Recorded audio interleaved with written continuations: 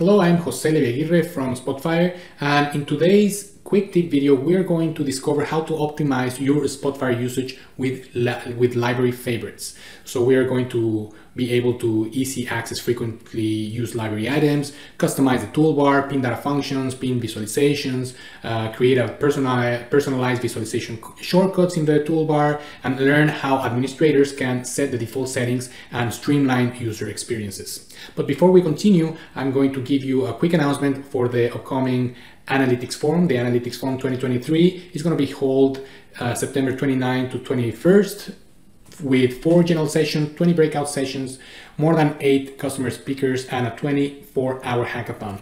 The registration is open, link below. The hackathon is or is about mitigate hunger with data. I'm going to put the link below, so, so stay tuned. We're going to start off with this sales and marketing dashboard, and you can find this in the samples directory. So in the library sample directory, you have a couple of examples and I usually work with the analysis, uh, analyzing stock performance. I already have marked as favorite and also the sales and marketing. And if I go to my favorites, I'm going to see those two files among other folders that I have marked as favorite. So this little number that you see here is the, the number of people, of unique users that have marked this as favorite. You can also mark not only folders and analysis, but you can also link data functions or data connection.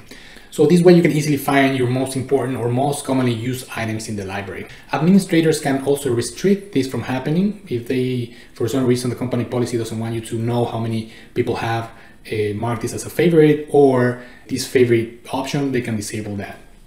Another cool thing is this toolbar where I have my most common visualization here. I just have a data table, I have a bar chart, text area. So um, you can pin your most common visualizations and just right click, customize toolbars, and then you can uh, use different visualizations, drag and drop, put them, arrange them. You, you can have also these vertical lines and stuff.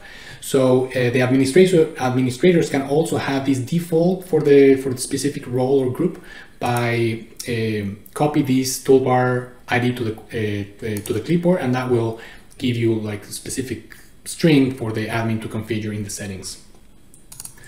Now, if a user don't have access to a certain functionality, to how the license is configured, then uh, no shortcut will be displayed for that functionality, even if it has added to the default toolbar. And users, of course, can override these settings by modifying the default uh, toolbar settings. So you can also add other other items, data filtering stacks, custom tools, custom visualizations. These uh, will be more like extensions.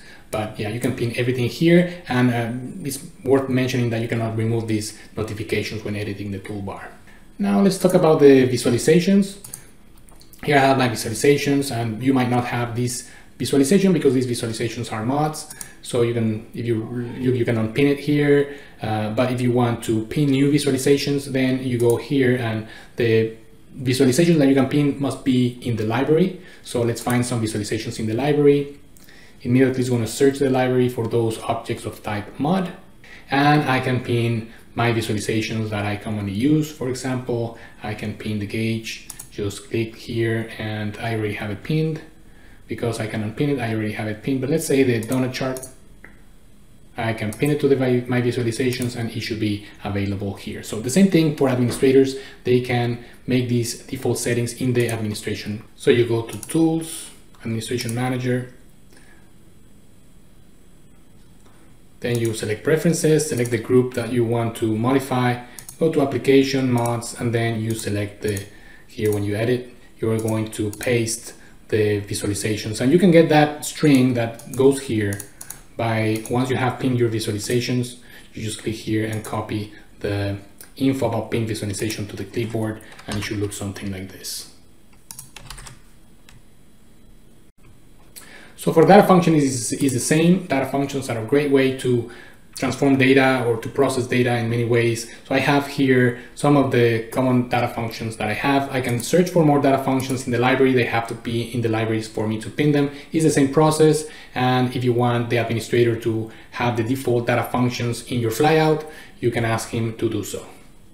The process is the same. You select uh, one of these data functions, you pin it, and then it should be available in your flyout. And then if you want uh, the administrator or you want to just suggest the administration, yeah, then you copy the information, uh, pin the items and that is going to be set for anyone in a specific group. And the location for that is in the data function preferences. Again, I go to my administration manager, preferences, select the group, data functions preferences, and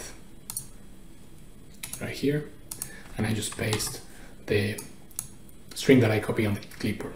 And that's it. Don't forget to like and subscribe.